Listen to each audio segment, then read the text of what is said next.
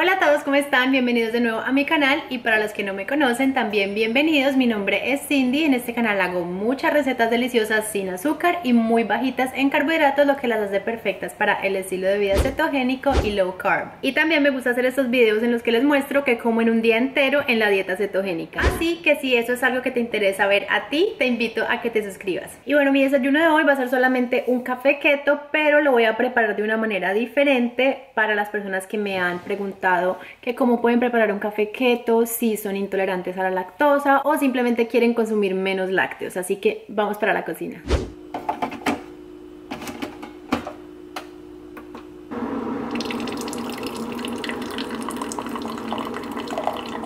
Bueno, aquí tengo mi café como siempre de 10 onzas. Este es el que estoy usando, que creo que ya se los había mostrado en el video pasado. Es de Costco y por lo general yo uso la crema para batir, pero lo que les voy a mostrar hoy es una muy buena alternativa si ustedes, o como les dije antes, son intolerantes a la lactosa o quieren consumir menos lácteos. Esta marca específica yo la conseguí en Publix, también he visto que la venden por Amazon. Es muy muy delicioso y lo que me gusta es que los ingredientes son muy buenos y los macros también. Por una cucharada tiene 10 calorías, 0 gramos de carbohidratos, cero azúcar. Los ingredientes son principalmente agua purificada, crema de coco, almendras, sabores naturales y bueno, algunos espesantes. Entonces, obviamente no tienen que usar esta marca, pueden usar también leche de coco, ya sea de la de cajita o la de lata, pero tengan cuidado que no sea algo que venga con azúcar añadida. Esta me gusta mucho que es de vainilla, también conseguí esta que es como edición limitada el otro día que es de canela, muy muy deliciosas las dos. Le voy a poner tres cucharadas de esto que vienen a ser 45 mililitros más o menos. Y como esto no tiene grasa como la crema para batir simplemente le añado la grasita con el aceite MST este es el que siempre uso, el enlace se los dejo a esto o a cualquier otra cosa que mencione en el video en la cajita de información abajo del video. Entonces le voy a poner una cucharada de aceite MST que son 15 mililitros. Le sigo poniendo colágeno a mi café, el que uso regularmente se me acabó, entonces este lo compré el otro día en el supermercado, pero este también ya se me está acabando, entonces voy a volver a pedir el que siempre uso por Amazon porque sale más económico y pues me gusta mucho. No sé si vieron el video que hice de los endulzantes, que ese video está muy muy bueno, ustedes lo han recibido muy bien, les gustó mucho el experimento que hice donde les mostraba cómo afectan los diferentes endulzantes keto los niveles de azúcar en sangre. Entonces como tengo muchos endulzantes diferentes porque los compré para ese experimento, tengo que usarlos. Voy a usar este que es uno de mis favoritos también, es de la Canto, fruta monje pura. Le pongo unas 8 gotitas de esto. Y por último, como siempre, voy a usar mi batidora de mano. En inglés esto se llama un Immersion Blender. Esto yo sé que se los he repetido en mil videos, amigos, pero es que siempre llegan personitas nuevas, entonces debo explicar las mismas cosas.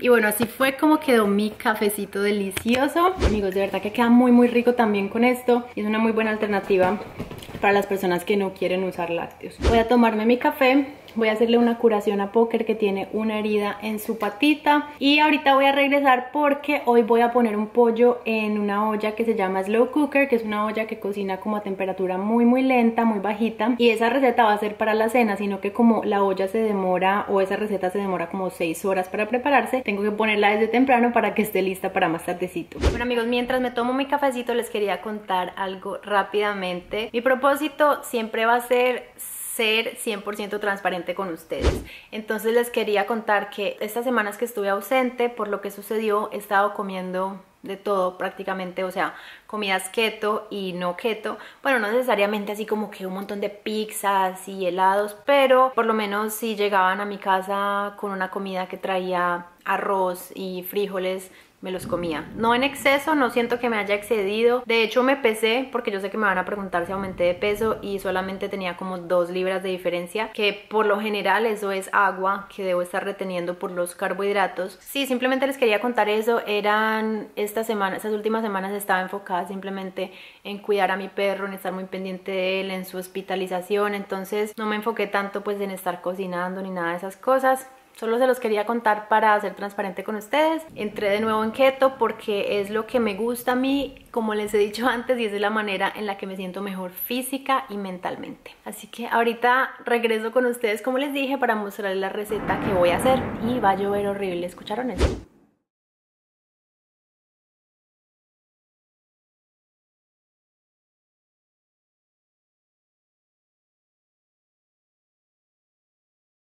Bueno amigos, ya voy a comenzar a preparar la receta que les digo que voy a hacer en la olla que cocina a fuego lento. Así es como luce la que yo tengo. Esta olla la uso bastante y fue muy económica como la conseguí como en 25-30 dólares. Esto es una receta que se llama en inglés crack chicken.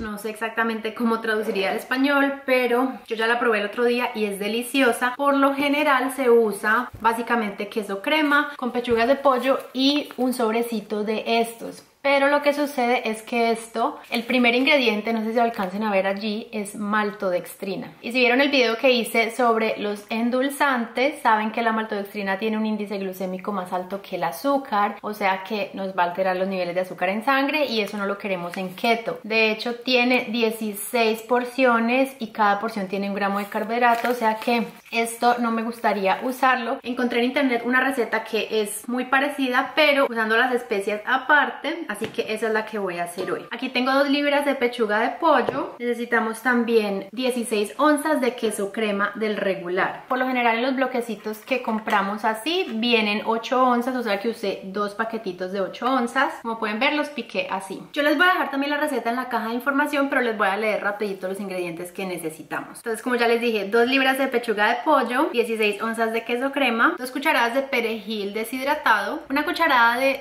eneldo, según Google así es como se dice esto en español, una cucharada de Aquí dice Google que se llaman cebolletas, una cucharadita de ajo en polvo, una cucharadita de cebolla en polvo, media cucharadita de pimienta, una taza de queso cheddar rallado, eso lo vamos a usar cuando ya el pollo esté listo, media taza de tocino o tocineta ya cocinado, picado en pedacitos, también esto va al final, y por último un tercio de taza de cebolla verde, cebolla larga, cebollín creo que también le dicen picadito. Todo esto que les mencioné que no les estoy mostrando se los voy a mostrar al final porque todavía no se lo vamos a poner. Entonces lo único que hay que hacer es poner el pollo en la olla que vamos a usar, luego las especias.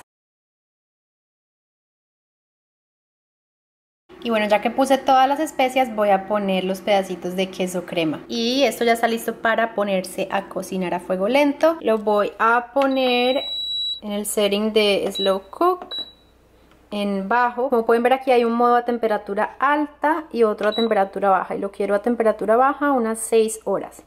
Y listo, ahorita más tarde les muestro entonces cómo queda esto. Amigos, casi se me olvida la sal, le voy a poner más o menos media cucharadita de sal. No le voy a poner tanta porque la tocineta es bien salada y el queso también, así que esto se los dejaría ya más bien a su gusto, pero esto es lo que yo le voy a poner. Y bueno, mientras tanto aquí tengo un pescadito que voy a cocinar, en inglés se llama flounder, según Google se llama lenguado.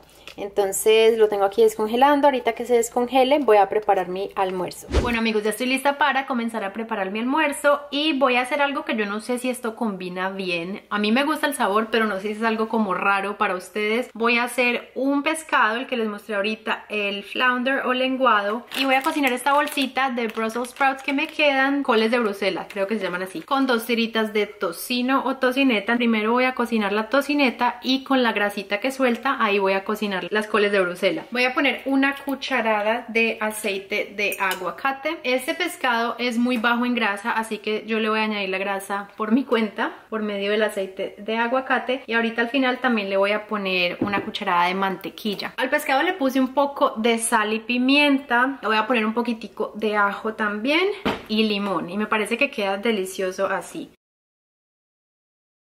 Bueno, ya que la tocineta está más o menos así como quiero, voy a sacarla con mucho cuidado, que no me salpique todo esto, a un recipiente aquí al ladito, procurando de que la mayoría de la grasa o de la manteca animal se quede en el sartén. Y yo les tengo que confesar que a mí antes no me gustaba este vegetal porque sí tiene como un saborcito como muy específico, un poco amargo, pero de esta manera me gusta. Aquí simplemente voy a cocinarlo más o menos por unos de 5 a 8 minutos hasta que esté pues ya más suavecito y luego simplemente le vuelvo a agregar el tocino y eso ya va a estar listo. Entonces voy a seguir con mi pescadito. Este pescado se desbarata muy fácil, así que no me extraña que se parta en dos. Bueno, encima del pescado le voy a poner este poquito de ajo. Voy a intentar voltear ya mi pescadito, aunque creo que se va a desbaratar. Bueno, sí se desbarató un poquito, pero no importa, ese pescado siempre es muy frágil. Por último, le puse un poquitico más de ajo por encima, una cucharada de mantequilla dividida en dos partecitas y le voy a poner limón al gusto y ya esto va a quedar listo. Lo voy a servir y les cuento cómo queda. Bueno, ya voy a probar esto que se ve súper delicioso. Mm. Amigos, el pescado queda tan rico preparado de esta manera. Este pescado tiene un sabor muy neutro. A mí por lo general me gusta un pescado así que no sepa muchísimo pescado. Con el ajo y el limón queda espectacular. Voy a probar las coles de Bruselas. Mm. Me encanta, me encanta esta comida. Entonces, bueno, me voy a comer mi almuercito y ahorita más tarde regreso con ustedes para mostrarles cómo es que vamos a terminar la receta del pollo. Bueno amigos, ya son las 8 de la noche y esto ya va a estar listo. Entonces, en este momento lo que voy a hacer es que le voy a poner la taza de queso cheddar rallado, el tercio de taza de cebolla larga, cebolla verde, cebollín, como sea que le llames en tu país. Y en este momento estoy terminando de cocinar en el air fryer la tocineta, que yo creo que ya está lista. Aquí hay, ¿cuánto fue que puse? 6 tiritas de tocineta tocineta. Así es como se ve el pollo que pusimos... Uy, qué montón de humo que pusimos desde esta mañana. Voy a desmenuzarlo. Bueno y para desmenuzarlo ustedes pueden usar lo que quieran un tenedor. Hay personas que también lo hacen con una batidora eléctrica dicen que es mucho más fácil. El mío está muy muy fácil de desmenuzar espero que lo puedan ver bien allí. Entonces creo que lo voy a hacer con una espátula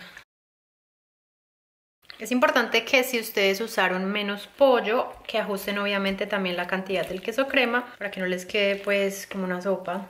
Entre más voy desmenuzando el pollo, más se absorbe el líquido que está restante allí. Bueno, ahora le voy a añadir el queso cheddar y el cebollín. Y esto lo mezclo muy muy bien. Lo bueno de esto, amigos, es que como pudieron ver, es algo que simplemente lo ponen en esta ollita, se pueden ir a trabajar y cuando regresen ya prácticamente la cena está lista. Si quieren lo pueden guardar en el congelador, se congela muy bien y pues les dura ahí bastante tiempo. Y es algo muy flexible que pueden comer de muchas maneras como lo quieran acompañar. Yo en este caso lo que voy a hacer, preparé mi pan de 90 segundos, que si no han visto la receta se las dejo por aquí en la i. Entonces me lo voy a comer como un tipo sanduchito y va a quedar delicioso.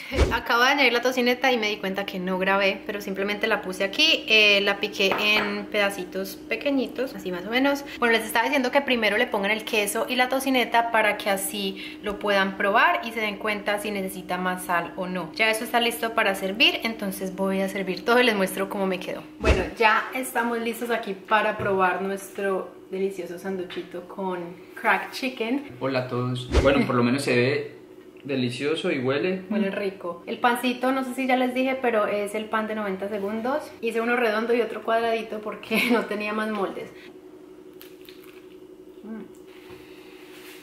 Mm. Ah, me encantó. Mm. Mm.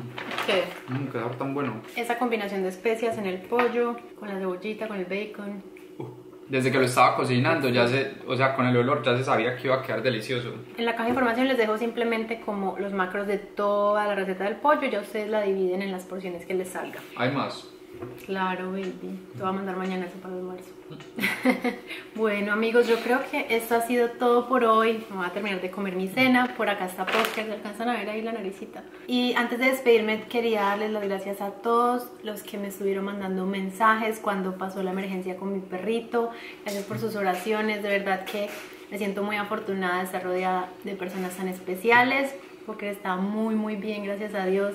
Ya lo tenemos hace una semana aquí de vuelta en casa y estamos muy contentos de que ya esté saludable nuestro bebé. Y él también. Y él también está contento. Espero que les haya gustado muchísimo este video. Si es así, recuerda darle deditos arriba y suscribirte a mi canal si aún no lo has hecho. Y nos vemos entonces en el próximo video. Los quiero muchísimo. Chao.